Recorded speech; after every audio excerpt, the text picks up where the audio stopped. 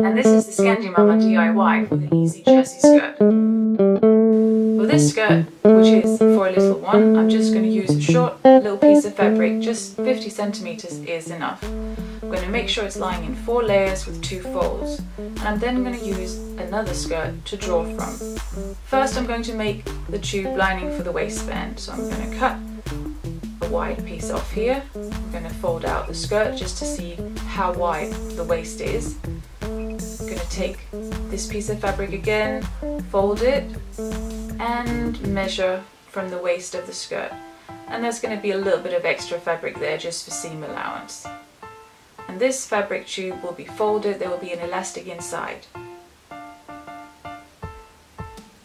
For the skirt part, again I'm going to use the rest of the fabric and I'm going to put the skirt on to measure from and this skirt will be a little bit wider and that's why the skirt isn't lying down to the fold of the fabric. I'm going to draw a line down along the skirt, go up a couple of centimeters and make a nice curve from the bottom to the bottom center.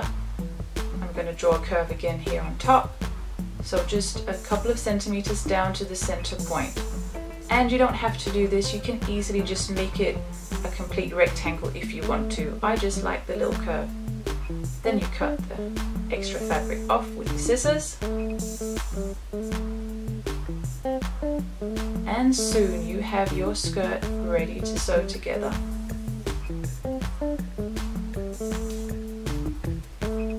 These are the pieces and now, place the two skirt pieces, fabric facing front to front and they need to be stitched together down the sides. And you can do it on a normal sewing machine, you can do a zigzag stitch before if you want to. I'm doing it all on my overlock serger machine, just because it's really, really quick. That was down one side, I make sure to go as straight down the line as I can. Taking the other side,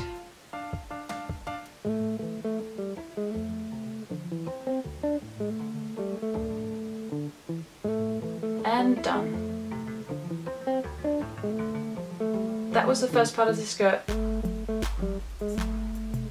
Gonna do the opening of the bottom now. Use an overlock serger if you have one. If not, a zigzag stitch is also great. It's simply just to make sure that the ends of the fabric, the edges, won't fray. So to keep it nice and neat. It's lovely and quick on the machine, so it hardly takes any time.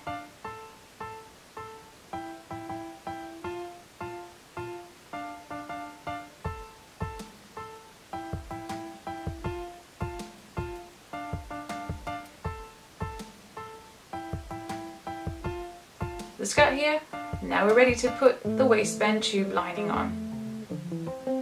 So this fabric is being folded front to front Stitch it down the side to create the tube.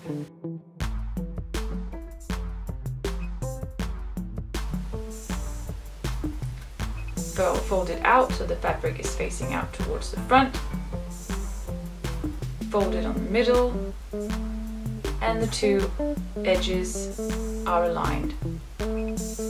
Then fold this down on top of the skirt on the outside of the skirt. Use some clips or some pins to hold it in place. And make sure you distribute the fabric from the skirt evenly around this waistband tube.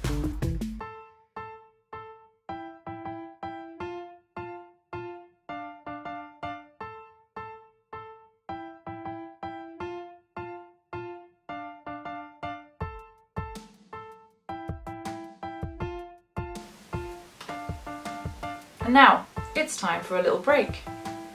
Yeah, I felt quite thirsty here. Alright, and ready to move on. Thanks.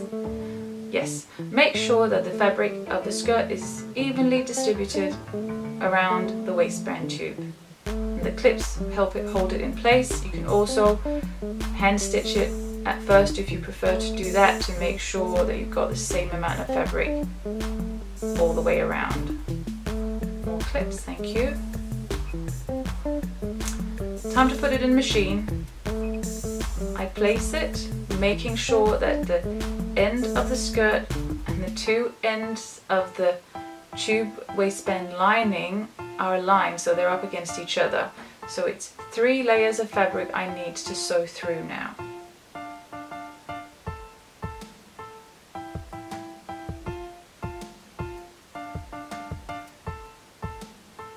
Yes, that looks good. Looks like it's pretty even.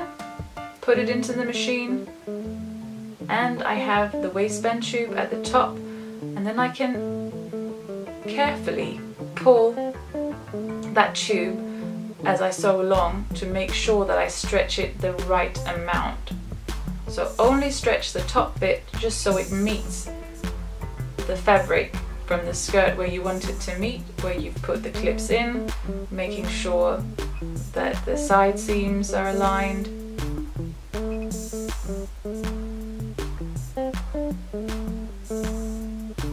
And be careful of your fingers.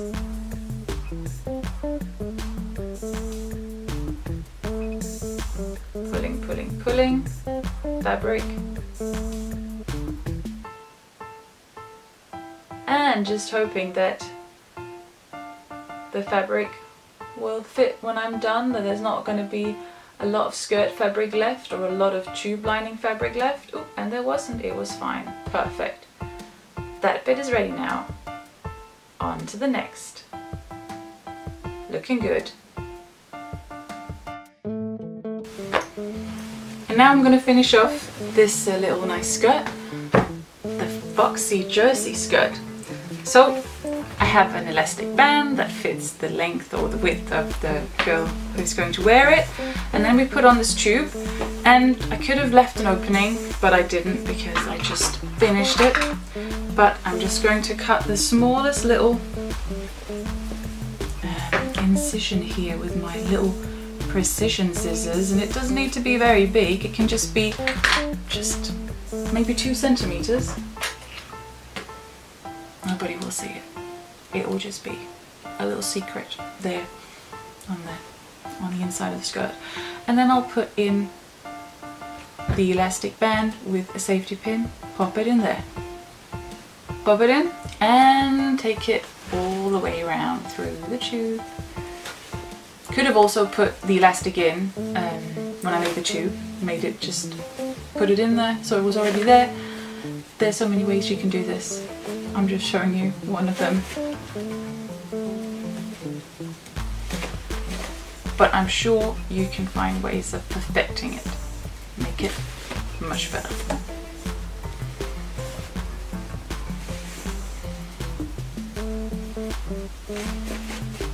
and then yes then there is that little um, cut opening but um, I've actually used it several times before when I then needed to alter it like put in a slightly uh, wider elastic or maybe narrow it a little bit if somebody just uh, got a lot taller all of a sudden.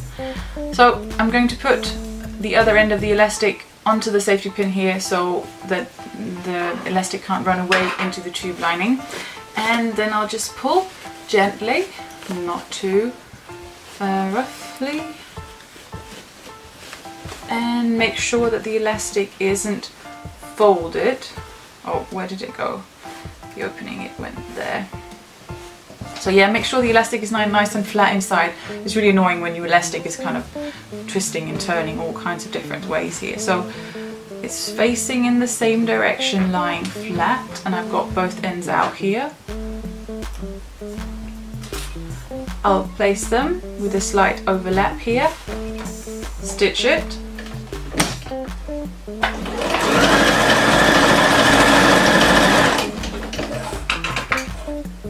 cut the threads, and have time to pull again. Pull, pull, pull. And the elastic is lost inside the tube and yes you can see there is a little hole but I'm sure my kid won't complain. And I wouldn't either. So that's the top done. Now we just need to finish the bottom here and I simply turn it couple of centimeters towards the back and put it into the machine, just a normal stitch. And I sew right on top of the overlock edge.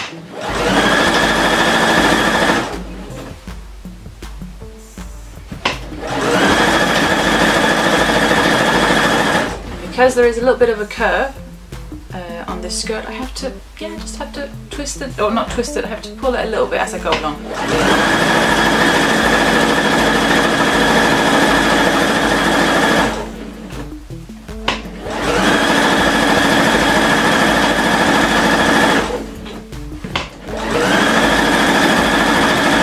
Make sure when I get to the side seam that the seams are aligned here.